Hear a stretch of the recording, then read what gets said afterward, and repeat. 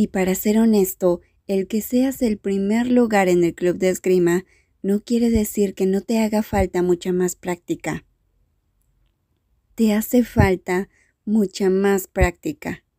La última frase del extraño se quedó resonando en los oídos de Canin, a pesar de que habían pasado algunos días. El joven miró fijamente el rostro de su padre mientras se alistaba con la espada en su mano. Canin se paró en la pista con una cara seria, listo para practicar, cosa que no pasaba con su mente, que estaba distraída por las palabras del extraño que seguía resonando en su cabeza. Las señales de movimiento de Tad Danai hicieron que intentara concentrarse de nuevo en la situación frente a él. El joven esquivó el borde afilado que se dirigió desde su lado izquierdo y luego se movió de nuevo para evitar la punta de la espada que ahora lo atacaba desde su lado derecho. Canin esperaba anotar.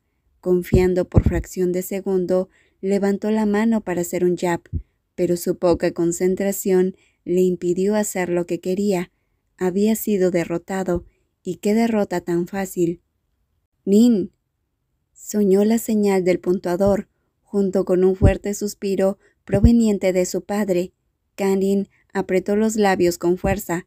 Inmediatamente supo lo que sucedería a continuación. No te estás concentrando. ¿Estás consciente de eso? Tad Danai usó un tono de voz firme. El hombre de mediana edad se dio la vuelta para tirar de la correa de su armadura, se quitó la máscara de metal y miró fijamente a su hijo. Ya sé que no estoy concentrado, dijo Canin, soltando un suspiro, sin ninguna intención de poner excusas. Estaba bastante molesto consigo mismo por dejar que alguien influyera en su mente. ¿Cómo era posible que ese tipo arrogante conociera sus defectos? ¿Con qué derecho se atrevió a decir que el número uno en el club de esgrima no tenía suficientes habilidades? Nadie nunca se había atrevido a decirle eso. ¿Qué está perturbando tu concentración? No es nada, son tonterías. Canin, si esas tonterías te distraen mientras empuñas una espada, sabes lo que eso significa, ¿verdad? Su padre estaba serio y Canning no respondió, pero era plenamente consciente de lo que Tatanay quería darle a entender. La duda, la inexactitud, son caminos que nunca conducen a la victoria, solo nos espera la derrota. Quédate aquí y analiza qué hiciste mal. Padre, si intento corregir mi postura y no muevo el hombro izquierdo antes de ablandir la espada, ¿crees que pueda derrotarte? ¿Eh? La frase de Canin dijo sin pensarlo dos veces, hizo que Tatanay se detuviera en seco antes de darse la vuelta para mirarlo sospechosamente. Sí, bueno, olvida eso. Canin agarró con fuerza la espada en su mano y cerró los ojos por un momento, dándose cuenta que, sin querer, había soltado aquella duda que había estado en su mente desde hace días.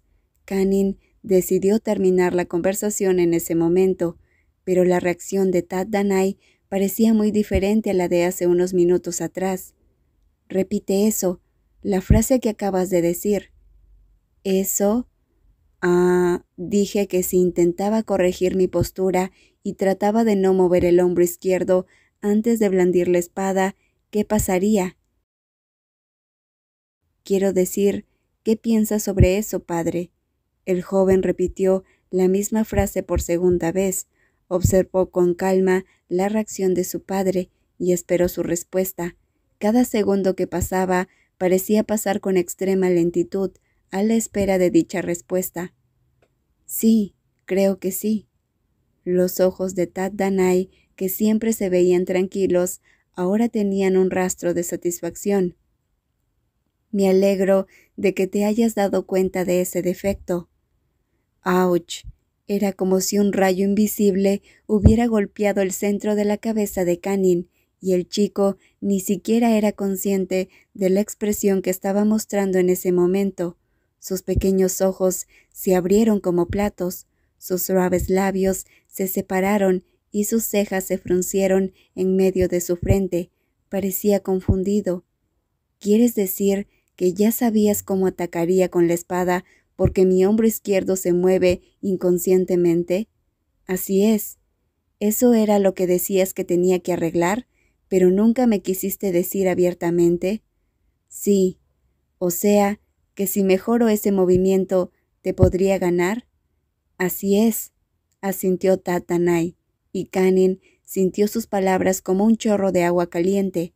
Estaba atónito, sacudió la cabeza repetidamente, porque eso solo quería decir que las palabras del tipo idiota eran... No puede ser, murmuró el joven, apartándose. El gesto que hizo a continuación fue suficiente para que Tad Danai, quien era una persona inteligente y experimentada, se diera cuenta de que estaba renuente ante la idea. ¿Alguien te lo dijo?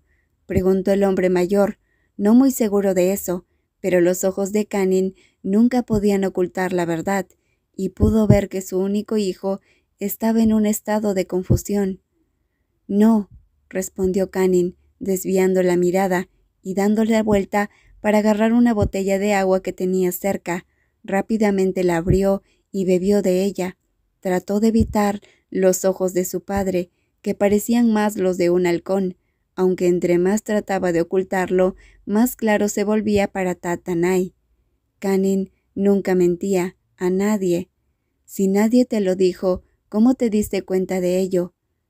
Yo.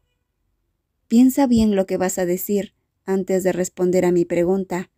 Canin sintió esas palabras como el golpe de un martillo y dejó escapar un largo suspiro, y como solía hacerlo de vez en cuando, hizo un puchero inconscientemente. Bueno, sí, es cierto, dijo Canin en voz baja. Hizo contacto visual con su padre y rápidamente intentó ocultar sus sentimientos, como de costumbre, pero la persona que me lo dijo no parecía estar bien, estaba como delirando. ¿Delirando? ¿Qué dijo? Cuéntame. Esta vez Tatanay actuó desinteresado, dio la vuelta para tomar una botella de agua y se la bebió. Conociendo a su hijo mejor que nadie, fingió indiferencia y preguntó en un tono uniforme. Tatanay sabía que, cuanto más interesado se mostraba, Canin sería más obstinado y se negaría a contarle. Es por eso que algunas veces Tatanay tenía que aplicar el método del esgrima para educar a su hijo, tratar de leer el juego del oponente, quédate quieto y espere el ataque. Dijo que muevo el hombro hacia la izquierda antes de desenvainar la espalda, y eso puede hacer que mi oponente anticipe mi siguiente movimiento. También dijo que debería tener más cuidado y que, aunque fuera el primer lugar en el club, aún tenía mucho que mejorar. Fue tan insultante e irrespetuoso. Sus últimas palabras sonaron más como un susurro, pero uno lleno de emoción e ira. Canin estaba molesto. También se preguntó qué tan bueno era la estatua de piedra. La mirada frustrada, el rostro tenso y los murmullos dichos para sí mismo fueron muy visibles para Tatanay. Sonrió antes de aclarar su garganta para sacar a Canin de su ensimismamiento. ¿Y tú crees que es verdad? El hombre preguntó para que su hijo pudiera expresar su opinión, aunque estaba agradecido por las palabras que le dijo el extraño. Tatanay podía entender lo que estaba sintiendo su hijo. Parecía que había abierto una herida que lo hizo ser más consciente de sus errores. Realmente no lo sé. Si no lo sabes, entonces tienes que averiguarlo, dijo Tad Danai, antes de darse la vuelta para dejar la botella de agua. Extendió su gruesa palma para recoger la cáscara y volver a ponérsela. Luego se movió para conectar el cable del puntuador. ¿Recuerdas la teoría del juego que te enseñé? El hombre se paró en una postura lista, lo que causó que el instinto de Canning reaccionara de inmediato. Esta vez te voy a ganar. El tono de voz que salió de la máscara de metal sonaba aún más serio. El joven movió su mano izquierda hacia atrás y con su mano derecha apretó la espada, mientras miraba fijamente a su oponente. Sí, Si estaban en competencia, no existían los lazos familiares. Canning creía que si su debilidad era el movimiento en su hombro izquierdo, entonces la teoría del juego que le enseñó su padre debería funcionar, incluso si el oponente era su propio padre, precisamente. He estado esperando eso desde siempre. Tad Danai sonrió levemente, apenas levantando las comisuras de sus labios. Eso solo hizo que Canning se emocionara más. No perderé esta vez. Entonces, adelante. El ambiente en la sala de práctica parecía más relajado. Canning ya no estaba preocupado, estaba más concentrado en el entrenamiento. Tatanai notó que Canning parecía estar divirtiéndose y quizá ni siquiera se dio cuenta de que su hombro izquierdo, que antes era un problema, ahora se movía de manera muy diferente. Tatanai sonrió al ver los resultados que mostró Canning después de darse cuenta de sus defectos. Canning era terco, pero un terco que siempre estaba dispuesto a mejorar. De hecho, en la práctica era muy dedicado. Sus movimientos con la espada eran suaves a veces, pero determinados en el momento preciso. Todas sus acciones contradecían completamente su lindo rostro.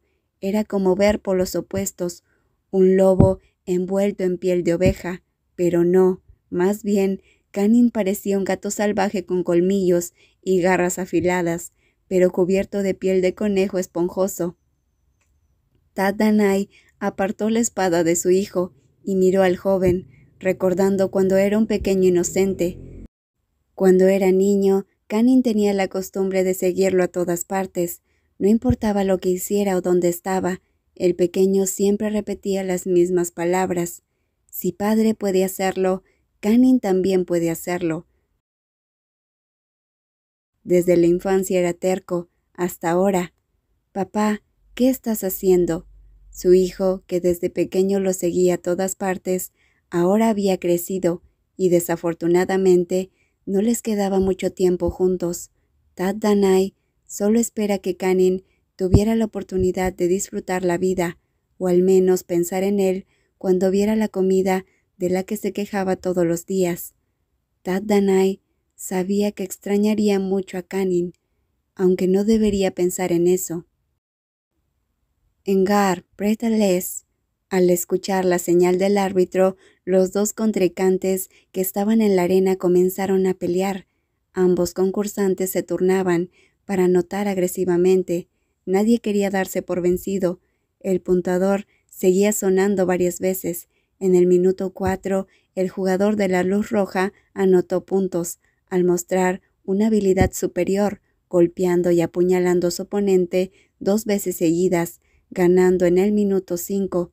Canning, que era el jugador del lado rojo, se quitó la máscara de metal y volteó a ver el marcador antes de sonreír con satisfacción. Luego se dio la vuelta y estrechó la mano hacia su contrincante, ocultando su sonrisa para mantener los buenos modales. El joven sonrió y habló con naturalidad al equipo verde. Y un minuto más tarde, su emoción se desvaneció repentinamente. Sus ojos se estrecharon para cambiar de enfoque. Toda su atención se había desviado de los concursantes que estaban en la pista. Ahora veía algo más que captó su atención. Sus labios que hasta hace un momento esbozaban una sonrisa, se cerraron de repente. El lindo rostro de Canning se endureció cuando aquel hombre alto y elegante apareció frente a sus ojos. El hombre había vuelto, quizás porque hoy en el club se realizaba una competencia para aquellos que deseaban competir a nivel de ciudad, y se había abierto sus puertas para que cualquiera que no estaba inscrito pudiera reservar un asiento para ver el juego. La arena circundante estaba muy animada, pero a pesar de la cantidad de personas alrededor, los ojos de Canning se detuvieron en esa persona. El hombre tenía la piel clara, y su cabello negro hacía juego con sus ojos penetrantes. Se cruzó de brazos y miró hacia abajo en la misma posición del día anterior, como si fuera un patrón. Solo estaba ahí parado, sin moverse, aparentando no estar ahí, pero tampoco soltándose, como un fantasma que se negaba a descansar o ser expulsado. Canin maldijo al hombre en su mente, se despidió de su oponente y luego se separó de los demás. Al principio planeó ignorarlo, pero un momento después su objetivo cambió. El joven se quitó el equipo protector y sus esbeltas piernas se dirigieron directamente hacia el hombre, deteniéndose justo frente a él, dándole una mirada tan amenazante como un arma. Se miraron sin decir palabra alguna, como si ambos estuvieran teniendo una guerra psicológica que se alargó casi tres minutos, hasta que Canin decidió romper el hielo. ¿Viniste a verme? Olvídalo. No necesito que respondas. Canin se encogió de hombros. Ni siquiera le importaba si el hombre le respondía. Tampoco quería saber cuál era el verdadero objetivo de ir hasta ahí. Si Canin había ido a hablar con el hombre, fue porque tenía algunas cosas importantes que decirle. En realidad, sonaba más razonable decir que había ido a corregir insultos. Solo estoy aquí para decirte que sigo siendo el número uno en el club de esgrima. Aunque, según tú, mi habilidad todavía no es suficientemente buena, los demás no opinan lo mismo. Además, el puntaje en la pantalla es mucho más claro que los ánimos y las palabras de cualquiera, ¿no crees? Canning sonrió, pero la sonrisa no llegó a sus ojos.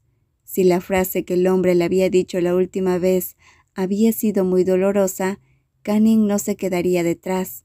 Lanzándole una sonrisa sarcástica, miró fijamente al extraño hombre frente a él, con la intención de despertar sus emociones. Oh, pero de todas formas te agradezco. Gracias por darme un consejo que nunca te pedí. De verdad, muchas gracias. Pero espero que te lo guardes la próxima vez. Canning pensó que, en el lugar del hombre, se hubiera levantado para comenzar una pelea, pero el hombre parecía estar muy tranquilo. Solo las comisuras de su boca se levantaron lentamente y se puso de pie.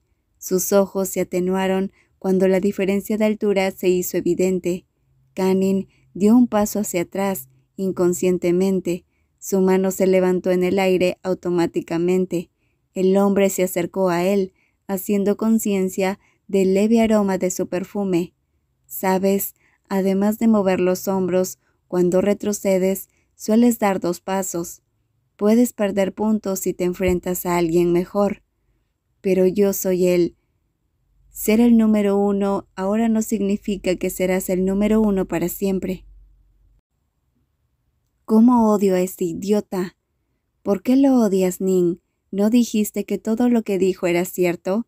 Paul susurró, Mientras le entregaba un plato de arroz, el chico inglés se volvió hacia el camarero y pidió pescado con salsa picante. Se dio la vuelta y cuando vio a Canning con el evidente mal humor en su cara, le dio unas palmaditas en el hombro. Había pasado casi una hora, pero Canning aún no podía controlar sus emociones, tal vez porque en el fondo sabía que las palabras del hombre eran ciertas, por lo que la irritabilidad en su pecho no podía desaparecer. Todavía estaba tenso, a pesar de estar en medio de las risas de sus compañeros, sus emociones no eran diferentes a las de un cielo nublado, y el único culpable de eso era la estatua de piedra. Las palabras de ese hombre me molestan, dijo Canning, dando la vuelta para tomar un vaso de agua, con la intención de que el agua lo calmara. Él y su grupo estaban sentados en un restaurante tailandés en Soho, que es conocido por sus sabores fuertes. Paul se ofreció para invitarlos después de ganar tres competencias seguidas. Vamos, no creo que sea la gran cosa, pero esta vez es diferente. ¿A qué te refieres? preguntó Paul, mientras seguía con la mirada los diversos platos que servían los empleados del restaurante. Canning soltó un suspiro cansado, Cuanto más pensaba en el motivo, más irritado se sentía, porque mi padre está de acuerdo con lo que dijo. No era porque no quisiera admitir sus defectos, Canning sabía que los tenía, pero se sentía ofendido porque las palabras del desconocido fueron respaldadas por la persona en la que más confiaba en el mundo. ¿Tu padre? Eso es aún mejor. Tu padre es muy bueno, comentó Alex, que estaba sentado a su lado, después de unos minutos de escuchar en silencio. Después de que tu padre aconsejó a Paul, mejoró, ¿no te acuerdas? Si no fuera por él no estaríamos aquí sentados, celebrando que ganó tres competencias seguidas. Sí, estoy de acuerdo con Alex. Ese hombro probablemente sea muy bueno. Quiero decir, si trató de aconsejarte, quizá no sea tan malo, ¿verdad? Ahora resulta que sus amigos habían desertado del lado del extraño. Canning respiró hondo, manteniéndose todo ese dilema en su mente, en lugar de responder. Oye, Canning, eres mitad en malé, ¿verdad? Alguien dijo, cuando la comida frente a él estaba casi terminada. Canning desvió la mirada del curry picante de naranja y asintió, presentando atención hacia la voz que le había preguntado. Sí, ¿por qué? Mi amigo me dijo que te preguntara. ¿Es cierto que en tu país los niños son entrenados para usar la espada todos los días desde que tienen tres años? Dicen que son mejores para manejar espadas que tenedores. Oh, sí, escuché que en ese país, para elegir un nuevo rey, tienen que traer a sus hijos para competir en un torneo. Es una de las pruebas. Vi un video sobre eso hace décadas en YouTube, dijo alguien, pero debido a que el lugar era bastante ruidoso, Canning no supo quién había sido. No es de extrañar que la gente de ese país siempre llegue a las finales en los Juegos Olímpicos. Tú eres muy bueno y tu padre también lo es. La última frase la dijo Kevin, un joven francés, quien se unió a la conversación sobre Emily con bastante entusiasmo, lo que provocó que Canning prestara más atención. Quizás algunos no lo sepan, pero mi papá me hacía empuñar una espada todos los días.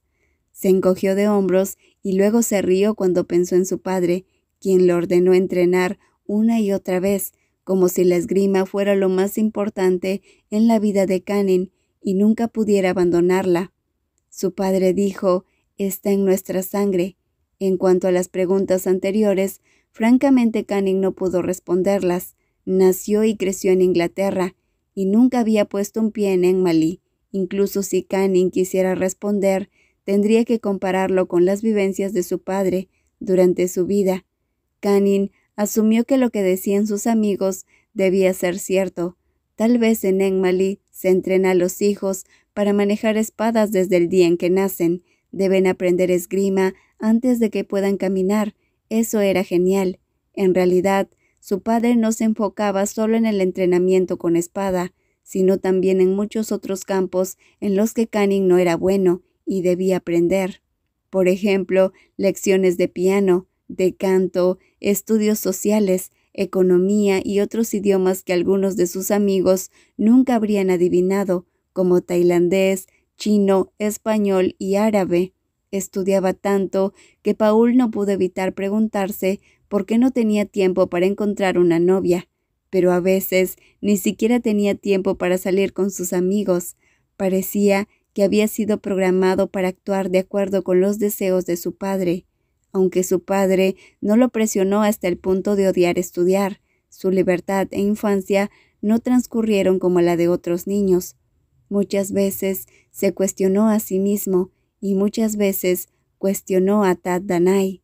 El joven no entendía por qué tenía que ser experto en todo, pero como su padre no era como los demás, las respuestas que recibía no eran diferentes a las de los exámenes en matemáticas, difíciles y que requerían un alto nivel de comprensión.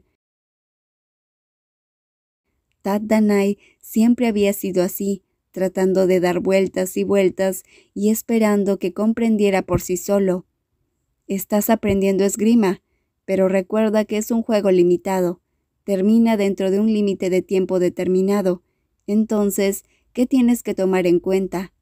Las palabras que su padre le dijo la noche anterior pasaron por su mente. Canning recordó la discusión que tuvieron en la tercera práctica. Cumplir las reglas y vencer al oponente dentro del límite de tiempo. Canning respondió de inmediato con confianza. Así es. Así que, Si quieres derrotar a un oponente superior dentro del tiempo asignado y aún tuvieras que seguir las reglas, ¿qué harías? El hombre hizo una pausa, dejando a su hijo pensar en su respuesta. Canin instintivamente se movió un poco, su cerebro procesando mientras fruncía el ceño, pensando hay dos maneras. Canin sostuvo la espada en una posición de guardia. A través de la máscara de metal, los ojos del joven se encontraron con los de su padre, sintiéndose repentinamente muy nervioso por su respuesta. Adelante. Sin saber qué decir, Canin se quedó allí durante unos minutos antes de finalmente acceder a decir lo que tenía en mente. La primera forma es leer al oponente encontrar su debilidad y superarla. La segunda forma es cometer una una violación contra el oponente y ganaremos. Canin tragó saliva cuando descubrió el significado de lo que dijo, que no era diferente de un tonto astuto, deshonesto y cobarde, pero el joven solo estaba pensando de acuerdo con las variables para competir contra el tiempo, tal como su padre le estaba cuestionando.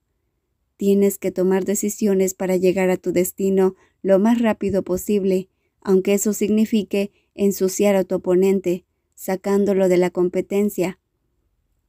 Pero no siempre podemos hacer eso. Romper las reglas a propósito en el momento del juego te convertirá en un tramposo, dijo Tad Danai en voz baja, enfatizando deliberadamente la palabra para llenar el camino para que Canin pensara correctamente. Pero si no hay tiempo, ¿es posible? El chico astuto pensó demasiado rápido, y su boca reflejó de inmediato lo que pasó por su cabeza. Los ojos de Canning se agrandaron. Estaba bastante sorprendido por sus propios pensamientos. Como resultado, su camino hacia adelante con la espalda se distorsionó.